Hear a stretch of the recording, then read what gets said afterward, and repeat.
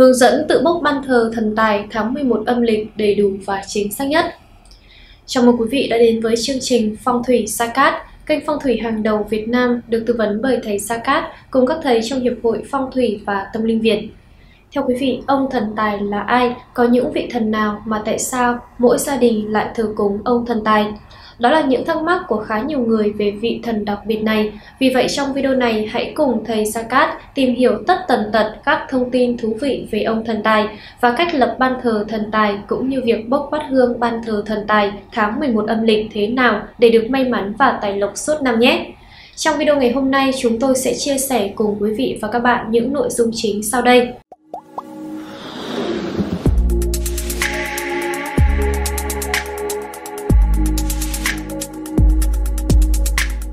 1.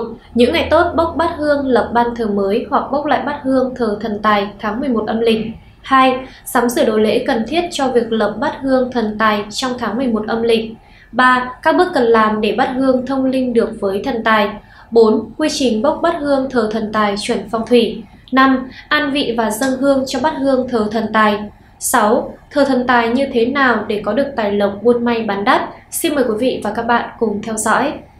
Quý vị thân mến, ở Việt Nam, hình tượng ông thần tài thường được xuất hiện với hình ảnh một nhân vật râu tóc trắng bạc phơ, ngồi trên ghế vàng, tay cầm vàng thỏi, khuôn mặt rất hiền từ và phúc hậu. Theo quan niệm của dân gian thì ông thần tài là vị thần sẽ giúp mang đến nhiều tài lộc cho gia đình nào thờ cúng ông. Đa số các gia đình thờ cúng ông thần tài đều có những lần làm ăn phát đạt và có nhiều may mắn trong cuộc sống.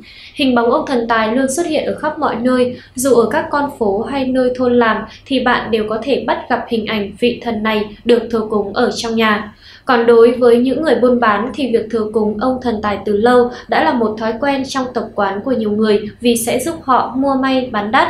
Vậy nên mỗi dịp cuối năm, quý vị cần phải lau dọn, bao sái ban thờ thần tài sạch sẽ hàng tháng để ngài hiển linh về được sạch sẽ, thơm tho và ban phát tài lộc sung túc cả năm.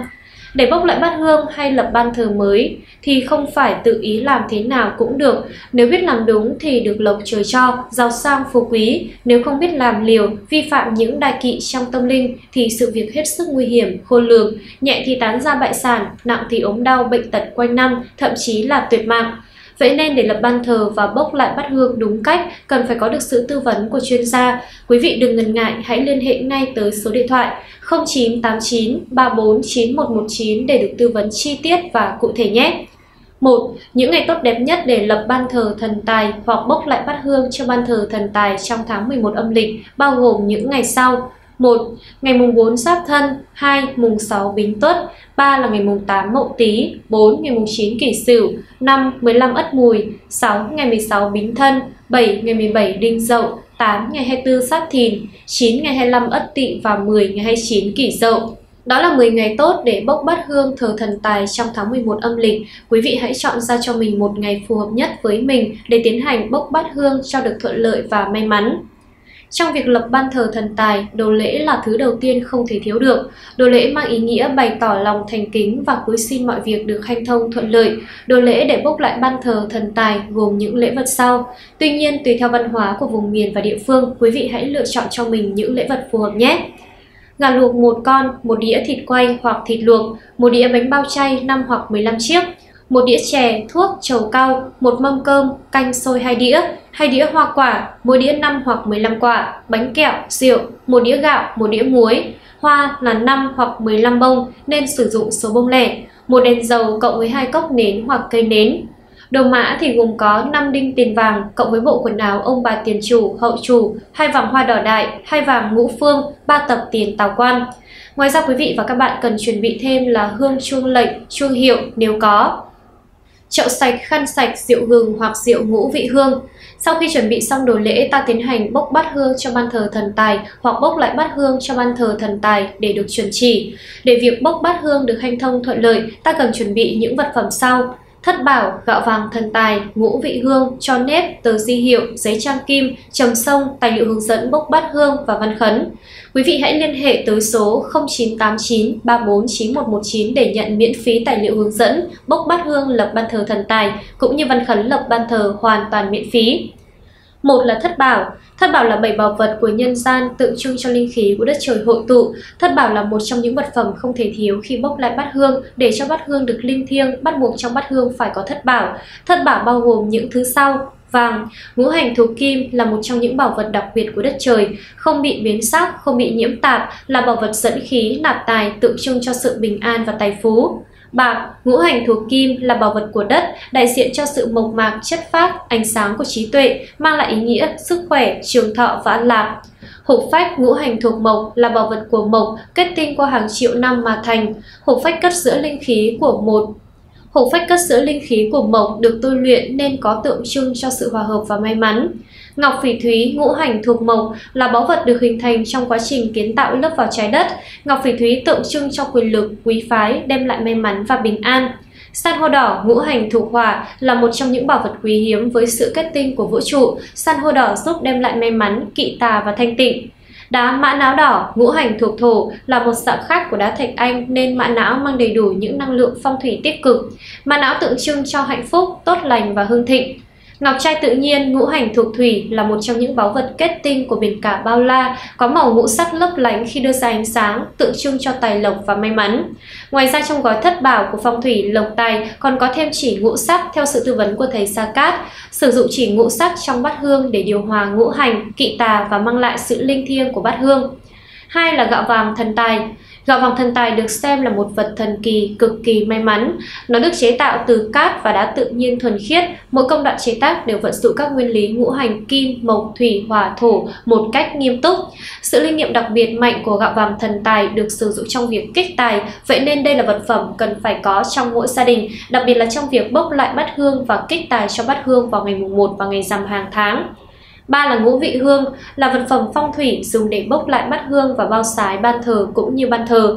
Ngũ vị hương bao gồm các loại hương liệu thảo mộc quý được dùng rất nhiều trong phong thủy như tẩy uế sông khí khi vào nhà mới, bốc lại bát hương, pha với rượu để bao sái bát hương, lau dọn ban thờ cho sạch sẽ thơm tho. Khi có ngũ vị hương trong bát hương, bát hương sẽ không còn bị tạp chất, sạch sẽ và thơm tho hơn, mang lại sự linh thiêng cho ban thờ của bạn.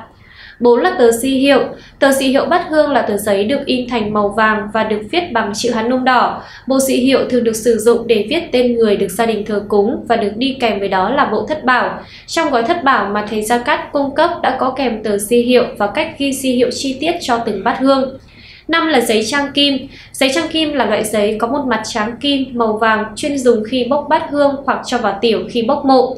Lớp giấy lâu ngày phân hủy hết nhưng còn lại lớp kim sẽ bọc lấy và bảo vệ xương cốt. Mọi người nên dùng loại trang kim chuyên dùng, không nên dùng loại giấy bạc bình thường sẽ không tiêu được lớp giấy. Giấy trang kim chuẩn được phong thủy Sa Cát gửi kèm trong gói thất bảo mà quý vị đã thỉnh là thứ không thể thiếu để bảo vệ thất bảo khỏi tạp chấp, tạp khí. 6 là trầm sông. 6 là trầm sông, gỗ trầm hương làm thác khói với hương thơm đặc biệt vốn được xem là có khả năng giúp tẩy hung khí, uế khí trong nhà. Ngoài ra sản phẩm này còn giữ cân bằng năng, vì vậy mà thác khói trầm hương có công dụng giúp tụ vượng khí, góp phần làm gia tăng may mắn, tài lộc cho gia chủ. Sau khi bốc lại bát hương, ta cần sử dụng nụ trầm để xông khí, tẩy uế cho bát hương sạch sẽ trước khi dâng lên ban thờ. 7 là tài liệu hướng dẫn quy trình bốc bát hương và văn khấn bốc bát hương. Những tài liệu này đã được phong thủy Gia Cát gửi kèm với bộ thất bảo để đảm bảo cho quý vị bốc bát hương được chuẩn chỉ và chính xác nhất. Sau khi chuẩn bị đầy đủ đồ lễ và vật phẩm để bốc lại bát hương, chúng ta bắt đầu tiến hành bốc bát hương theo quy trình sau. Tờ di hiệu sẽ ghi như sau: Phụng thờ ngũ phương, ngũ thổ long thần, tiền hậu địa chủ, tài thần. Ghi xong di hiệu ta tiến hành làm theo bước sau. Bước 1. Sàng cho, chuẩn bị ngũ vị hương, thất bảo, trầm, gạo vàng thần tài, viết di hiệu, bật lửa, hương, nhang. Bước 2. Sau khi sàng lọc cho nếp sạch sẽ, chúng ta tiến hành trộn cho với ngũ vị hương. Trong quá trình trộn cho nếp với ngũ vị hương, tâm ý phải hợp nhất, toàn tâm toàn ý nghĩ về việc bốc bát hương, khi đó bát hương mới linh ứng. Ngoài ra phải đọc ngũ bộ chú trong quá trình trộn cho nếp như hướng dẫn mà thầy Gia Cát và Phong Thủy Lộc Tài đã có hướng dẫn gửi kèm trong bộ thất bảo. Sau khi trộn cho nếp đều với ngũ vị hương, cho nếp từ màu đen tuyền chuyển sang màu quánh vàng của bột ngũ vị hương và có hương thơm dễ chịu. Trộn đều cho nếp với ngũ vị hương xong, ta chuyển sang bước tiếp theo. Bước 3 là gói thất bảo. Trong bộ quất thất bảo mà Phong thủy Sa Cát gửi cho các bạn có kèm theo hai tờ si hiệu và tờ giấy trang kim cộng với một nụ trầm để sông bát hương. Quý vị và các bạn bóc gói thất bảo ra, lấy tờ di hiệu ghi tên bát hương thờ ai như hướng dẫn của phong thủy Gia Cát gửi kèm trong gói thất bảo. Sau đó gấp gói thất bảo lại, đặt vào mặt sau của tờ di hiệu, gấp tờ di hiệu làm 3 theo chiều ngang, sau đó gấp theo chiều dọc của tờ di hiệu từ dưới lên trên. Gấp xong tờ di hiệu, chúng ta lấy tờ giấy trang kim đặt ngược lên bàn, đặt tờ di hiệu đã gói thất bảo vào, sau đó gấp sao cho vuông vắn đẹp đẽ. Khi đã gấp xong, ta chuyển sang bước tiếp theo. Bước 4 khi đã bao sái tẩy uế bát hương sạch sẽ bằng rượu ngũ vị hương hoặc là rượu gừng, ta đặt bát hương lên bàn sạch và tiến hành bốc bát hương. Đầu tiên chúng ta rắc một ít gạo vàng thần tài xuống đáy của bát hương, khoảng 1 phần 3 gói. Tiếp theo chúng ta đặt gói thất bảo vào chính giữa của bát hương, sao cho đầu dưới của thất bảo hướng về mặt nguyệt của bát hương. Đặt xong thất bảo, ta tiến hành bốc từng bốc cho nếp vào trong bát hương. Khi cho nếp đến khoảng một nửa bát hương, ta dừng lại, rắc tiếp 1 phần 3 gói gạo vàng thần tài đều lên trên bề mặt cho nếp. Tiếp đến ta lại bốc cho nếp vào bát hương, khi cho nếp đến miệng bát hương thì ta tiếp tục rắc số gạo vàng còn lại vào trong bát hương. Lưu ý ở giữa bát hương nên rắc gạo vàng thần tài nhiều hơn những chỗ khác để khi đặt cây trầm lên sông bát hương không bị hóa, cắm hương sẽ bị đổ, gây nên sự lo sợ cho gia chủ. Để tránh việc này, chúng ta cần rắc gạo vàng thần tài nhiều hơn ở giữa để khi trầm sông xong không bị hóa bát hương. Sau khi rắc gạo vàng thần tài hết, ta chuyển sang bước tiếp theo.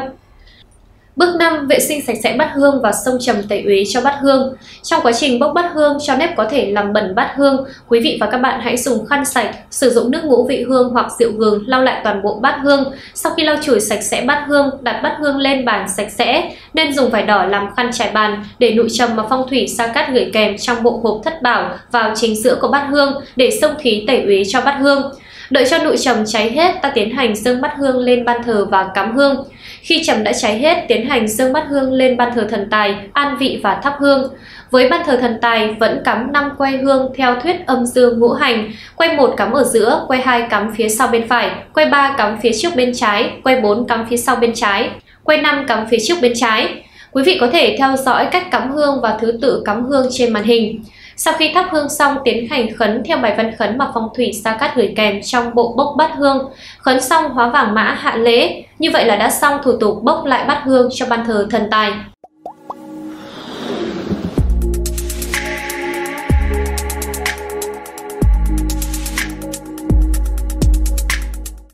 Trên đây, thầy Gia Cáp đã hướng dẫn quý vị và các bạn cách bốc lại bát hương ban thờ thần tài một cách đầy đủ và chi tiết nhất.